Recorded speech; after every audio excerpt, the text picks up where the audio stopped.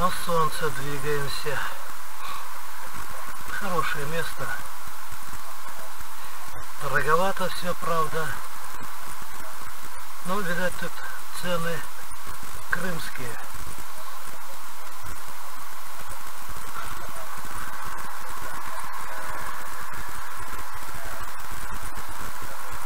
То, что на материке стоит 70-80, тут 190 вообще.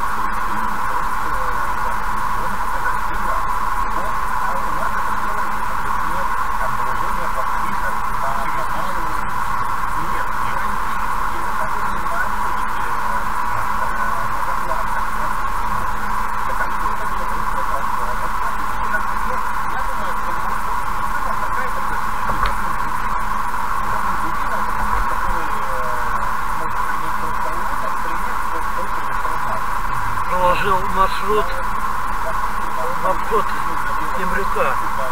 Темрюка. То есть по трассе, по которой ездят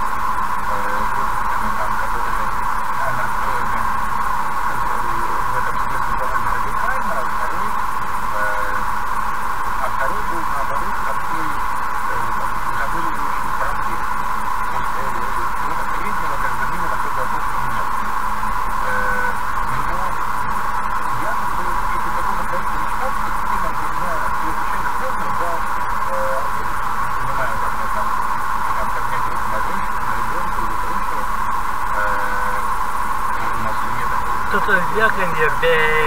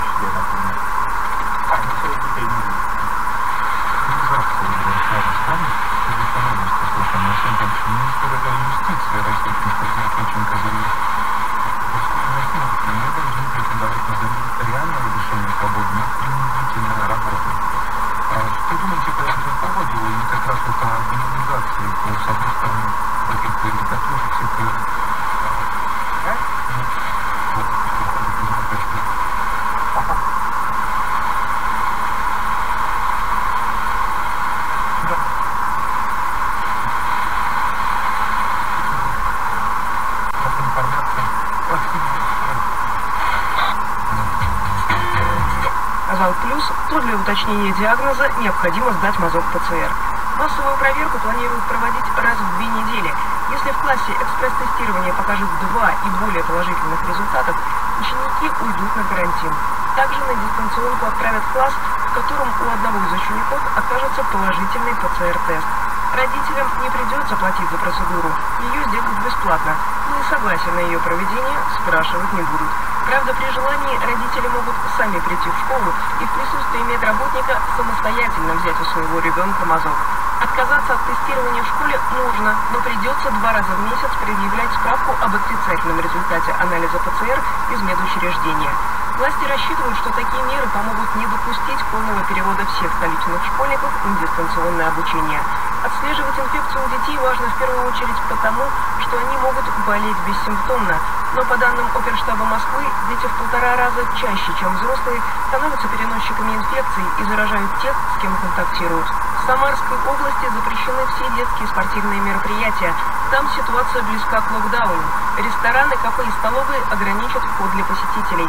Залы не должны быть заполнены больше, чем наполовину.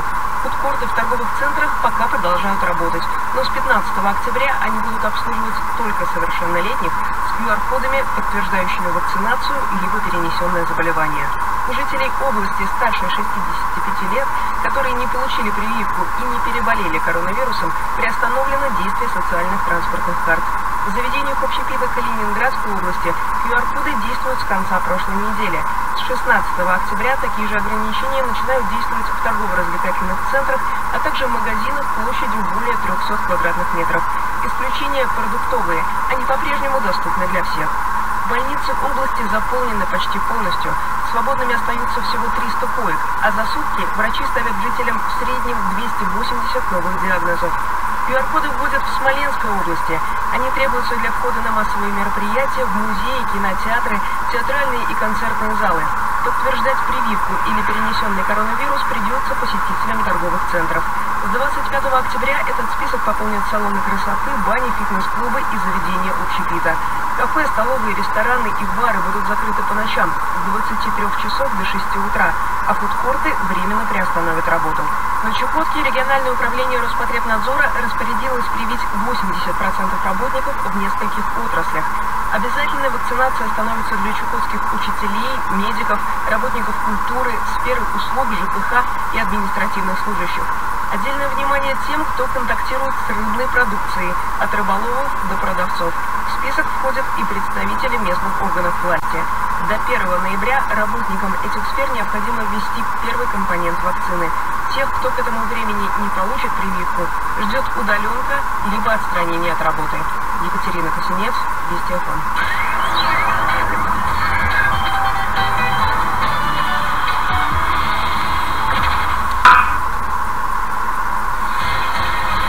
В России хотят запретить детям кататься на тюбингах. Такое? из движения «За безопасность» отправили письмо в МЧС. В нем говорится о многочисленных случаях травм. Их дети получают во время катания с горок на надувных ватрушках. При этом чаще всего подобные инциденты происходят с дошколятами или же с детьми возраста начальной школы. Именно поэтому и предлагают установить границу в 12 лет. О возрастном цензе на тюбинге Сергей Гололобов. Зимой травматологические отделения детских больниц плотно заполняются малолетними пациентами. Сломанные руки и ноги, ушибы головы, травмы позвоночника. Немалая доля здесь и тех, кто прокатился с горки на тюбинге, а после не сумел вырулить и врезался в дерево, выехал на проезжую часть или просто выпал из ватрушки на кочке. Сообщения о пострадавших при катании на тюбинге напоминают военную сводку. 31 декабря прошлого года трехлетнюю жительницу набережных Челнов посадили на ватрушку и пустили вниз с горки. Малышка выпала и получила смертельную травму. В Новосибирске 1 января семья отправилась кататься на тюбинге на территорию местного горнолыжного комплекса, который в тот день не работал. Да и кататься здесь на ватрушках лебянках запрещено. Тем не менее, восьмилетняя девочка скатилась на тюбинге вниз, ударилась о металлическое ограждение и получила травмы, как потом скажут медики, несовместимые с жизнью. В Уфе, опять же, в прошлые новогодние праздники пожилой мужчина с семилетней внучкой катались на тюбинге и на полной скорости врезались в дерево. Мужчина погиб, ребенка на скорой с тяжелыми травмами увезли в больницу. И таких печальных примеров масса. Но почему именно тюбинг становится причиной тяжелых травм? Во-первых, ватрушки могут развивать отборную скорость, сравнимую с горными лыжами и сноубордом. И при этом они практически неуправляемы, рассказала программе «Вести Новосибирск» тренер по горным лыжам Тамара Иванова. Я иногда вижу, что она неуправляема. Она просто скользит. Там нет педали тормоза, там нет даже вот как у нас в лыжах или сноуборде контов, которыми можно каким-то образом зацепиться и не врезаться. препятствие. Кроме того, при катании на ватрушках дети сидят, не касаясь ногами поверхности. С ледянки или санок ребенок, увидев опасность, может упасть, например, в бок. На ватрушке же он прочно сидит в углублении, поэтому не может ни затормозить, ни толком выпрыгнуть. И даже если он не врежется в дерево, то может выехать на проезжую часть, где полно автомобилей. Именно такой случай прошлой зимой произошел в Кемерово. Этот момент запечатлели видеорегистраторы проезжающих машин. Ребенок на отлюжке вылетает из припаркованной машины и оказывается на дороге. Еще мгновение, и ватрушка с ребенком попала бы под колеса автомобиля. Но спасла реакция автовладельцев, рассказал телеканалу «Россия-1 Сибирь» водитель Максим Ощепков. Поток шел с низкой скоростью, встречный водитель успел среагировать, остановился. Водитель, который ехал за мной, он взял вправо на обочку. Если бы, допустим, я ехал чуть медленнее, плюшка бы как раз сгодила колеса моего автомобиля. Детский травматизм при катании на тюбингах встревожил общественников. Они предложили ввести возрастной ценз для этой снежной забавы в 12 лет. Соответствующее письмо отправили в МЧС. Руководитель движения за безопасность Дмитрий Курдесов так пояснил свою инициативу. Очень большой травматизм именно детей до 12 лет. Так как сам по себе ребенок еще мышечная масса до конца не сформировалась, тяжело удерживать себя при больших скоростях и э, особенно при каких-то столкновениях. Тюбинг это как условно название, вообще в принципе такие игры, которые заведомо опасны для не сформировавшихся детей. Мы считаем, что нужно обратить на это внимание. Поэтому и вышли с таким предложением. На официальных снежных спусках возраст катающихся еще могли бы отслеживать инструкторы, хотя для этого детям пришлось бы носить с собой свидетельство о рождении, так как у 12-летних и младше паспорта еще нет. Но больше всего травм происходит на стихийных горках, где контроля никакого нет. Так вот, администрировать запрет катания должна патрульно-постовая служба, полагает Дмитрий Курдесов. Условно говоря, патрульно-постовая служба и видит, что ребенок э, явно по возрасту меньше 12 лет, стоит там, да, курит или употребляет спиртные напитки, он уже может определить, что ребенок молодой, он, естественно, его задерживают, там, вызывают родителей и дальше уже разбираются. Точно так же здесь, при э, обходе территории, если возраст э, детей там, ребенка очевиден, либо известен самому сотруднику патрульно-постовой службы, он принимает определенные меры в соответствии с э, установленным законом. При этом запрет 12-летним кататься на тюбинге не должен быть абсолютным. Если со взрослыми, то можно, дополняет Дмитрий Курдесов. Мы считаем, что все-таки, если под присмотром родителей, и сами родители оценивают возможное безопасное время препровождения на вот этих тюбингах своих детей, то есть так как они несут ответственность за жизнь и здоровье ребенка, тогда, в принципе, они могут брать на себя ответственность и тогда дети могут кататься. Мы здесь имеем в виду, когда одни дети просто на горке без присутствия родителей, без присмотра занимаются вот такими играми. Вот эти вещи мы хотели бы ограничить, запретить. Специалисты поясняют, что одного взрослого сопровождающего недостаточно, чтобы организовать безопасное катание на тюбинге. Один вверху обычно усаживает ребенка на ватрушку и пускает ее с горки. Но самая эта опасность внизу, поэтому обязательно должен быть второй взрослый, который контролирует проезд, гоняет стоящих на пути, а затем ловит тюбинг. Сергей Гололобов, Вести ФМ.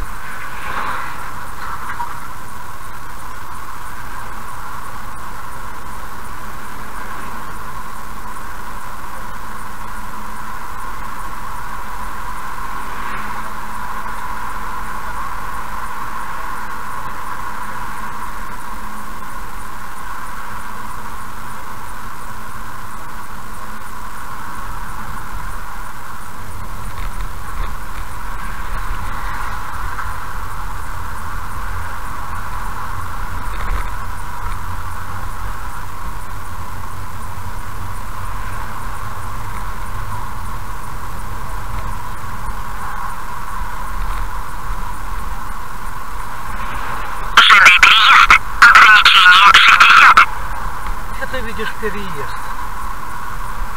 Такая фигня. А, о, впереди что ли?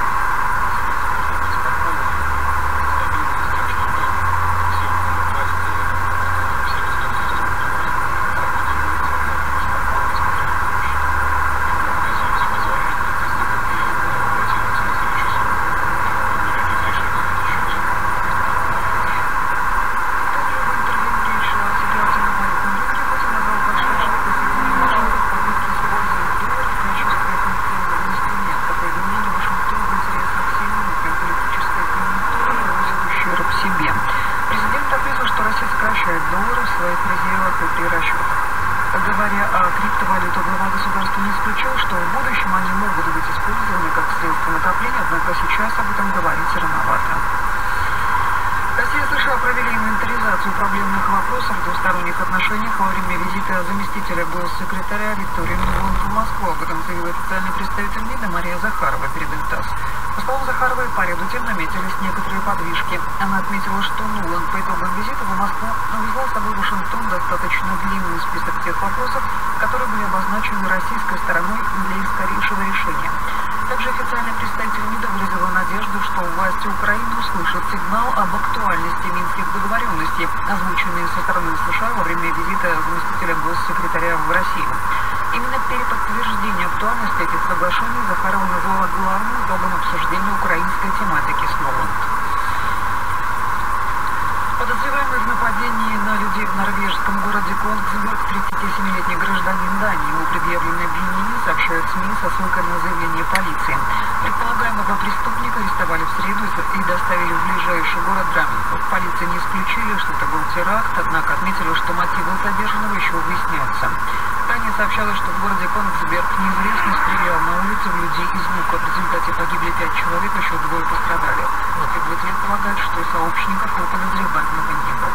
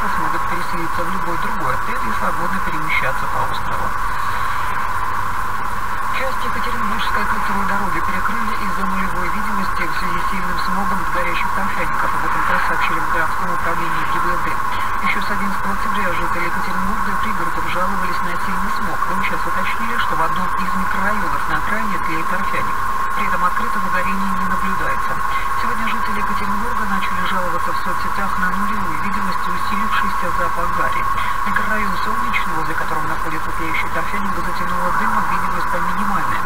Вымчесть призвали сохранить спокойствие, там пояснили, что дымка обусловлена туманом, образовавшимся в результате перепада температур. Пожарные продолжают ликвидировать линии торфяника, угрозы населенному пункту. На всей азиатской части России в ближайшее время установится снежный покров. Об этом сообщил научный руководитель гидрометцентра Роман Вильфан.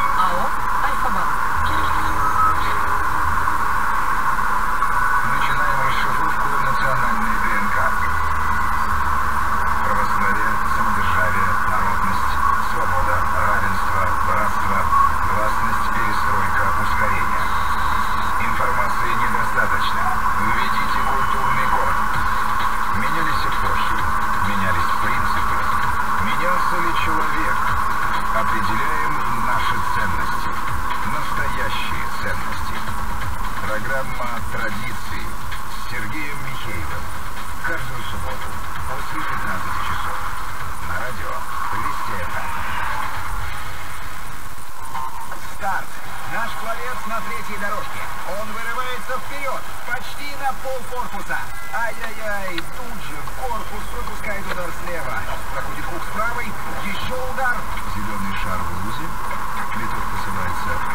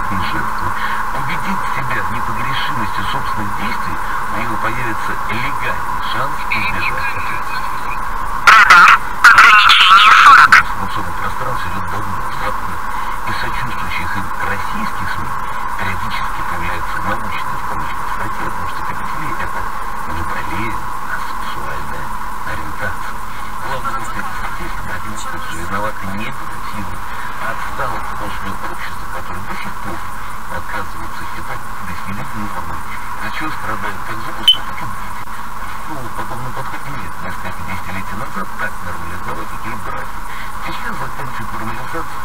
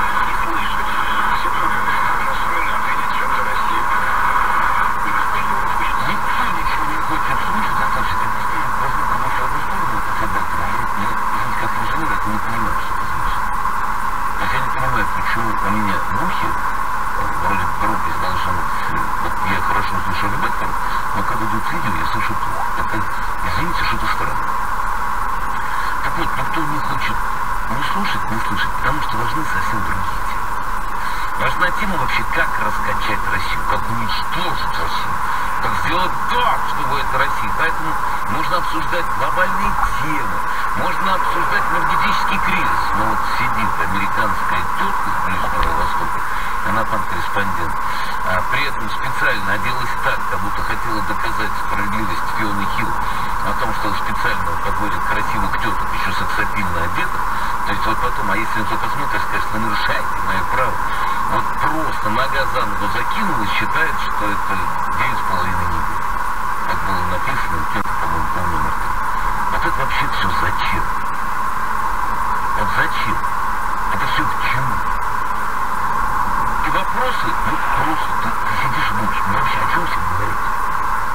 Вот эта женщина, которая вообще не слышит ни одного вопроса, постоянно задает те же самые. И для, не- для нее что важно? Не очень важно. Ее порядок. Навальный! Тимура, при этом... Ну,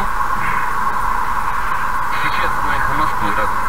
Они впрямую сказали, что они не только их хозяин, а, дешевая содержанка Гусинская, но то, что они все за деньги Газпрома разбирают страну и требуют санкций против руководителя Газпрома. Кстати, я здесь абсолютно не согласен с дальше структуру, подсказывающую на свободу слова. Запад насрать с высокой колокольни. Запад это вообще не понимает, эти сигналы не читают. Для них все равно. Можно платить деньги этим Фейгенхауэрам и Плющевым, которые одновременно получают бабки от Deutsche Welle, являясь тем самым дешевыми немецким пропагандистами. И, кстати, по этим определениям, как получает деньги Газпром, являются еще и сотрудниками и пропагандистами газовой монополии. Так же, как Пархоменко, с одной стороны, такой, знаете, ласковое, да не телятин, старый бык, сосущий, все, что дают пососать, двухматов. С одной стороны, опять Газпром спонсирует это ничтожество. А с другой стороны, американцы там в институте Кеннона, ему же деньги, наверное, платят, стипендию выдают. Ну вот, на них, ну хорошо, ну вот что о них сказал президент. Что это ненормально, когда преследуют журналистов. Кстати говоря, если мы возьмем пострадавших журналистов, э, количество пострадавших журналистов по миру. Посмотрите, где и что происходит в мире. Россия, к сожалению, не единственная страна, где это происходит. И это, конечно, результат внутреннего развития страны и демократический процесс. Совершенно очевидно. Но э, я, знаете, с трудом э, найду, э, найду страны, средства массовой информации фактически финансируются из государственных источников и занимают такую неприменительную позицию к властям, как у нас. Что мне трудно сказать, а «Газпром» финансирует одну из наших организаций. «Газпром». Она занимает крайние позиции по любому вопросу. И каждый второй имеет э, иностранный паспорт либо вид на жительство. Работает, ничего, все в порядке. Конечно, когда журналисты переходят определенные границы. Конечно, когда они вступают в зону риска,